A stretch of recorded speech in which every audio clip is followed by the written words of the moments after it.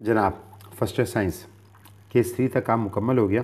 Case four की मामला start करते हैं। हेडिंग जैसे आपके सामने बनी हुई होगी कि source of sound moving away from the stationary listener दोबारा वही काम। लिसनर जो है मेरा वो स्टेशनरी है। ठीक है जी? लिसनर जो है मेरा स्टेशनरी है। ये मेरा लिसनर है। इसकी वेलोसिटी वी नॉट अब की बार ज़ीरो है। ठीक है? पहले भी ऐसी केस थ्री में भी ऐसी थी। ये मेरा सोर्स ऑफ़ साउंड है। मेरा सोर्स ऑफ़ साउंड एस से ज़ाहिर किया हुआ है। आवाज़ की ये लीनियर वेक्टर्स हैं, जो कि मैंने वेव्स के बनाए हैं। वेव्स निकाल रहा है और ये वेव्स निकाल रहा है वेलोसिटी वी के साथ। लेकिन लेकिन ये खुद भी मूव कर रहा है और ये मूव कर रहा है अवे फ्रॉम द लिसनर और ये किस वेलोसिटी से मूव कर रहा है? ये मूव कर रहा है वेलोसिटी वी एस के साथ। ये सोर्स ऑफ़ साउंड की वेलोसिटी है। ठीक है? ये उसके साथ मूव कर रहा है। अगर मैं इसके जो स्फेरिकल आर्क हैं, वो स्फेरिकल आर्क दिखाऊँ तो वो स्फेरिकल आर्क इस तरीके से होंगे। ये बात बिल्कुल क्लियर हो गई हमारे सामने। अब इसको मैं दोबारा से चीज़ को आपके सामने करने के लिए आसान करूँ। ठीक है जी। ये मूव कर रहा है अवे फ्रॉम स्टेशनरी लिस्नर नतीजा क्या निकला? नतीजा ये निकला कि ये इस जगह पे था और ये मूव करेगा अवे फ्रॉम द लिसनर ये इसने एक वेव ओरिजिनेट करी और ये आगे आ गया। नतीजा ये है कि जब अगली वेव ओरिजिनेट करेगा तो अगली वेव इस तरीके से ओरिजिनेट करेगा। क्योंकि उस तरफ़ चला गया। फिर ये और आगे बढ़ गया। जब ये और आगे बढ़ गया तो अगली वेव ओरिजिनेट करेगा। इस तरीके से नतीजा क्या निकला? नतीजा ये निकला कि हर वेव ओरिजिनेट करने से पहले ये लिसनर से दूर चला जाता है। तो लिसनर के सामने वाले इलाके में वेव एक्सपेंड हो गई हैं। दूर दूर चली गई हैं। जब वेव्स दूर दूर चली गई हैं तो वेव लेंथ जो है वो बढ़ गई है। पहले वाले केस के बरखिलाफ लिसनर के सामने वाले इलाके में वेव करीब करीब आ गई थी। वेवलेंथ कम हो गई थी। अब की बार लिसनर के सामने वाले इलाके में वेव दूर दूर हो गई, क्योंकि सोर्स ऑफ़ साउंड अगली वेव निकालने से पहले दूर चला जाता है। तो अब लिसनर के सामने वाले इलाके में वेव दूर दूर हो गई तो वेवलेंथ चेंज हो गई है। तो लिसनर को नई वेवलेंथ जो दिखाई देगी, सॉरी सुनाई देगी, आवाज़ की बात है, वो कम सुनाई देगी, कम वेवलेंथ होगी। अब कम वेवलेंथ की वजह से फ्रीक्वेंसी चेंज हो जाएगी और फ्रीक्वेंसी चेंज होने की वजह से लिसनर को जो लाउडनेस है या पिच है, वो डिफरेंट सुनाई देगी। ये ऐसी एग्ज़ाम्पल है, जैसे एक एंबुलेंस आपसे दूर जा रही है और आप जो है, वो आवाज़ जो सुनते हैं, वो आम हालात के बरखिलाफ़ कम सुनते हैं। तो यहाँ पे एक बात तय हो गई है पहले, और वो ये तय हो गई है कि जो नई आवाज़ हमको सुनाई देगी, या जो नई फ्रीक्वेंसी हमको सुनाई देगी, वो पुरानी वाली फ्रीक्वेंसी के मुकाबले में कम होगी। ठीक है? हुआ क्या है यहाँ पे? वेवलेंथ पे फ़र्क पड़ गया है। मैं वो डायग्राम बनाऊँ जो आपके पास अब नीचे बनी हुई है। ये सोर्स ऑफ़ साउंड है। ये सोर्स ऑफ़ साउंड ने एक वेव ओरिजिनेट करी, ये वेव ओरिजिनेट करी। ये इसकी बाउंड्री थी वेव की, और ये सोर्स ऑफ़ साउंड की बाउंड्री थी। ठीक है? तो इस वक्त जो वेवलेंथ थी, वो वेवलेंथ थी लेमडा मुझे नज़र आ गई। ये वेवलेंथ लेमडा थी। ठीक है, लेकिन हुआ क्या अगले स्टेप में? अगले स्टेप में हुआ ये कि सोर्स ऑफ़ साउंड ने दूर चली गई अगले वेव निकालने से पहले।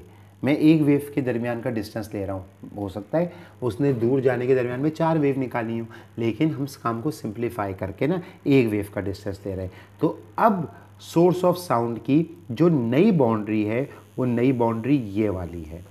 पुरानी बाउंड्री के लिहाज से उसने डिस्टेंस कवर कर लिया है एस ठीक है जी? उसने डिस्टेंस एस कवर कर लिया है।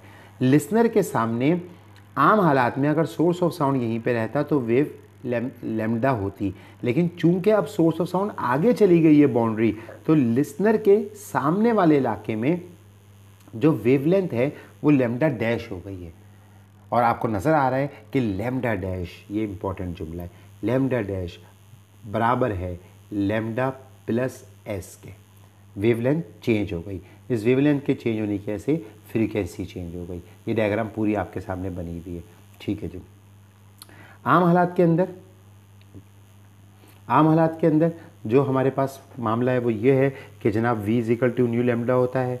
ठीक है। यहाँ से लेमडा या वेवलेंथ किसके बराबर होती है? बिल्कुल केस थ्री का रेप्लिका है, थोड़े से फ़र्क के साथ। यहाँ से वेवलेंथ किसके बराबर होती है? वेवलेंथ बराबर होती है वी अपॉन न्यू के। ये हमारे पास इक्वेशन बन है।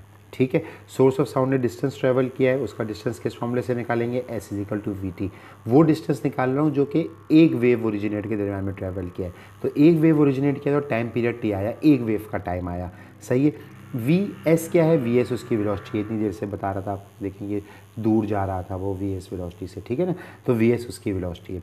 सबको मालूम है कि टाइम पीरियड जो होता है वो फ्रीक्वेंसी के रेसिप्रोकल के बराबर होता है। वन अपॉन न्यू के बराबर होता है। एस की वैल्यू निकल आई, क्या वैल्यू निकल आई? ये न्यू यहाँ पे लिखा हुआ है, इस न्यू को यहाँ पे भी लिख सकते हैं। यहाँ से ख़त्म हो जाएगा। वी एस अपॉन न्यू निकल आई। अब नई वेवलेंथ क्या है? जुमला ये एक्सप्रेशन लिखा हुआ है। लेमडा डैश बराबर है किसके? जो अब सुनाई देगी लिसनर को। लेमडा प्लस एस के बराबर है। ठीक है? तो लेमडा डैश का में क्या मामला है? लेमडा पुरानी वेवलेंथ है। इक्वेशन नंबर वन से देखिए। वी अपॉन न्यू है। ठीक है? एस की वैल्यू आपने अभी निकाली है एस की वैल्यू देखिए। काम थोड़ा तेज़ हो गया ना? वी एस अपॉन न्यू ठीक है? ये लेमडा डैश जो है, वो किसके बराबर आ गई? आपके सामने। V प्लस वी एस नीचे जो एल सी एम वो लिखा हुआ है, उसको एल सी एम की शक्ल में लिख दीजिए। ये नई वेवलेंथ निकल आई। ठीक है? नई वेवलेंथ जो निकल आई आपके सामने, वो आप देख लीजिए। अब वो नई फ्रीक्वेंसी का सबब बनेगी। नई फ्रीक्वेंसी कैसे निकलती है? नई फ्रीक्वेंसी ये निकलती है। जनाब नई फ्रीक्वेंसी कैसे निकलेगी? नई फ्रीक्वेंसी ऐसे निकलेगी कि v is equal to nu lambda होता है, ठीक है? तो यहाँ पे हमारे सामने जो है वो न्यू बराबर आएगा किसके? V अपॉन लेमडा के। लेकिन नई फ्रीक्वेंसी चूँकि नई वेवलेंथ लिहाजा नई फ्रीक्वेंसी अब ये देखिए न्यू डैश बराबर है किसके? V और लेमडा डैश किसके बराबर है? V plus V S upon nu ये वैल्यू मैंने यहाँ से उठा के यहाँ पुट करी है। मुझे इसको रब करने की ज़रूरत है। पता नहीं, मैं इसको कैसे मैनेज करूँगा आगे तक? लेकिन यह है कि इसमें जगह तो चाहिए, कोई इतना बड़ा बोर्ड तो है नहीं कि मैं आपके सामने सारे स्टेप रख के रखूँ। Nu dash is equal to V ठीक है? ये न्यू पलट के ऊपर आया न्यू यहाँ पे पलट के और ये वी प्लस वी एस इसके नीचे लिखा हुआ है। वेलोसिटी सारी एक तरफ़ है, ये वेलोसिटी एक तरफ़। ठीक है? ये मेरे सामने नई फ्रीक्वेंसी का एक्सप्रेशन बन गया। ठीक है जी? क्या सीखा मैंने यहाँ से? पहली चीज़ जो मैंने यहाँ से सीखी वो ये सीखी, मेंशन करना चाह रहा हूँ आप लोगों को दोबारा से, गौर कर लीजिएगा। वो चीज़ जो मैंने यहाँ से सीखी, वो ये चीज़ सीखी कि नई फ्रीक्वेंसी पुरानी फ्रीक्वेंसी से कम निकलनी चाहिए। ठीक है? एंबुलेंस हमसे दूर जा रही थी। Source of sound move away from the listener nu dash नई फ्रीक्वेंसी ये पुरानी फ्रीक्वेंसी न्यू ठीक है? ये इस ब्रैकेट से मल्टीप्लाई हो रही है। इस ब्रैकेट का आंसर क्या होगा? ऊपर वी अकेला है, नीचे वी प्लस वी एस है, यानी कि नीचे जो भी नंबर है, उसमें वी में कुछ प्लस हुआ है तो नीचे बड़ा नंबर होगा, ऊपर वी अकेला है, ये चीज़। जब भी डिवाइड करूँगा तो आंसर जो निकलेगा, वो क्या निकलेगा? वन से छोटा निकलेगा। पॉइंट फाइव निकला। पॉइंट फाइव निकला, वन से छोटा, और वन से छोटा नंबर जब इससे मल्टीप्लाई होगा तो इसको मज़ीद छोटा कर देगा या इसको छोटा कर देगा। ये जो भी नंबर हुआ, ये इससे मल्टीप्लाई होकर छोटा हो जाएगा। यानी कि नई जो वैल्यू निकलने वाली है, वो छोटी निकलने वाली है। अगर ये, मिसाल के तौर पर ये दस हुआ तो पॉइंट फाइव से निकल के ये पूरा चीज़, ये पाँच रह जाएगी। तो नई फ्रीक्वेंसी पाँच होगी। तो नई फ्रीक्वेंसी हमेशा कम निकलेगी इस मैथमेटिकल एक्सप्रेशन से किसके मुकाबले में? पुरानी फ्रीक्वेंसी के मुकाबले में। और ये देखिए यही चीज़ हमको प्रूफ करनी थी, यहाँ पे ये चीज़ लिखी हुई है कि नई फ्रीक्वेंसी कम निकलेगी पुरानी फ्रीक्वेंसी के मुकाबले में। ठीक है? ये बात क्लियर हुई आपके सामने यहाँ पे। अच्छा जनाब, ज़रूरी क्या है कि हम पहले पाँचवा और छठा केस पढ़ने से पहले केस थ्री और केस फोर को वन केस और टू केस के साथ एक बार रिवाइज़ कर लें। वन केस के अंदर केस वन के अंदर हमने ये चीज़ पढ़ी थी कि लिसनर मूव कर रहा है towards the source of sound जो फ्रीक्वेंसी सुनाई दे रही थी केस वन के अंदर, वो सुनाई दे रही थी V plus V not upon V into nu ठीक है? इसमें लिसनर मूव कर रहा था towards the source of sound case one था।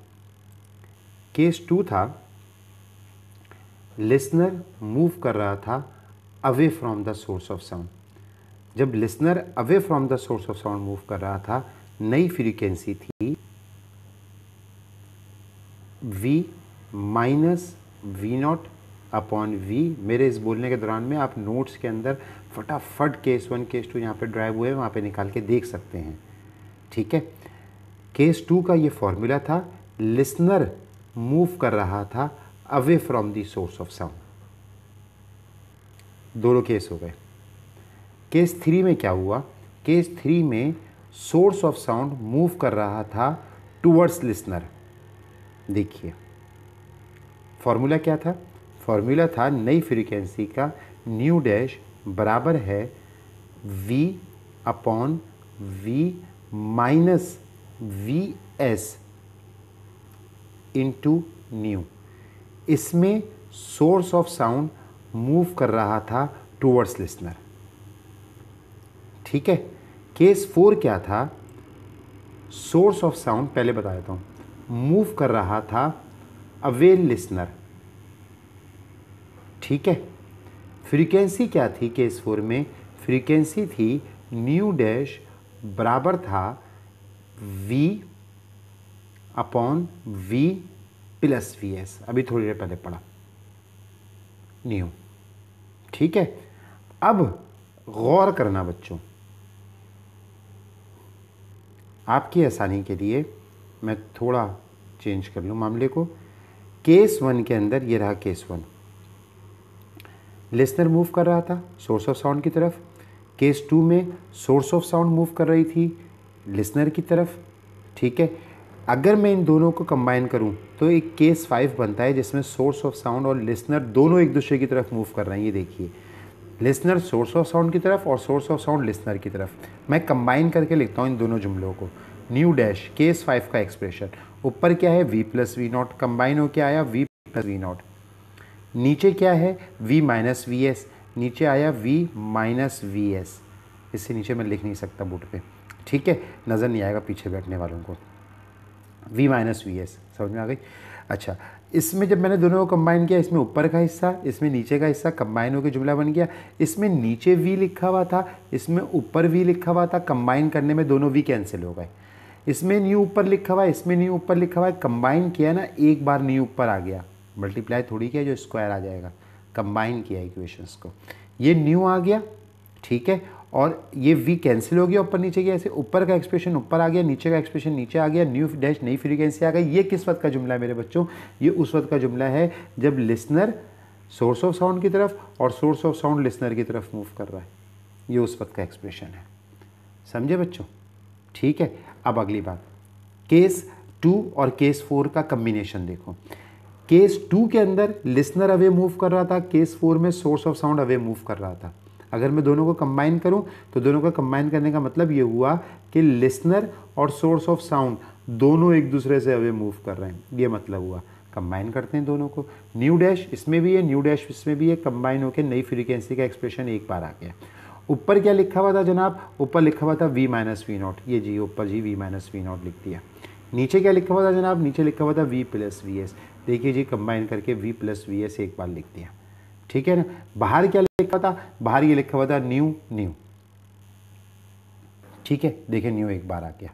अब क्या हुआ? ये वी जो नीचे लिखा हुआ था, ये वी जो नीचे ऊपर लिख लिखा हुआ था, ये दोनों कंबाइन करने के अंदर कैंसिल हो गए दोनों वी जुमला एक्सप्रेशन हमारे सामने बन के ये आ गया। नई फ्रीक्वेंसी ये किस्मत का ये केस सिक्स है। ये केस सिक्स है। ये क्या है? ये केस फाइव है। कोई इसको ये ना समझे, मैं वेलोसिटी लिख रहा हूँ। केस सिक्स है केस फाइव है। केस फाइव के अंदर लिसनर और source sound source of sound दोनों एक दूसरे की तरफ़ मूव कर रहे हैं। केस सिक्स के अंदर लिसनर और सोर्स ऑफ़ साउंड दोनों एक दूसरे से अवे मूव कर रहे हैं। ठीक है बच्चों, यहाँ पे हमारे पास ये दोनों एक्सप्रेशन भी आ गए। यहाँ पे हमारे पास डॉपलर इफ़ेक्ट के छः के छः केस जो है वो पूरे हो गए। वन केस को ड्राइव किया टू केस को ड्राइव किया थ्री और फोर केस को ड्राइव किया फाइव और सिक्स केस बनाया, किस तरीके से कंबाइन करके आपके सामने हैं। ठीक है वन और थ्री को कंबाइन करके फाइव बनाया वन और थ्री को कंबाइन करके फाइव बनाया। थोड़ी सी भी अकल अगर होगी, ज़रा से भी होशियारी करेंगे तो इस वक्त जो ये इस वक्त विंडो है, इसकी तस्वीर खींच लेंगे, इसका स्क्रीनशॉट ले लेंगे जो आपके सामने चल रही है।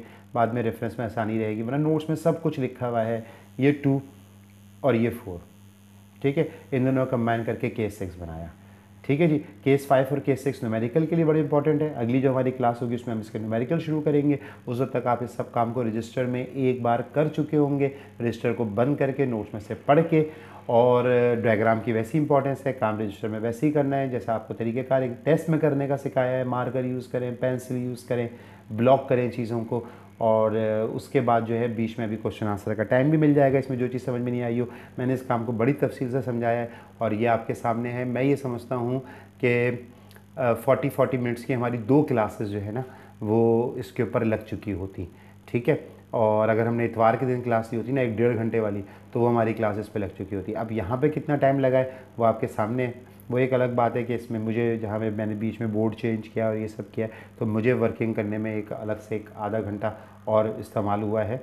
और बस एक जो हमने फ़र्स्ट ईयर साइंस से शुरू से एक वादा करके रखा फ़र्स्ट ईयर साइंस से कि यार मैं आपकी दावत करूँगा तो ये ले फ़र्स्ट ईयर साइंस के लिए, ये फ़र्स्ट ईयर साइंस आपके लिए आपकी दावत। मेरी तरफ़ से आज आप सब लोग जो है वो चॉकलेट खाएँ, मज़े करें, लेकिन याद रखें कि इस चॉकलेट को खाने से पहले हाथ धो लीजिएगा। ठीक है जनाब अली? अल्लाह हाफ़ मुलाकात होती है फिर इन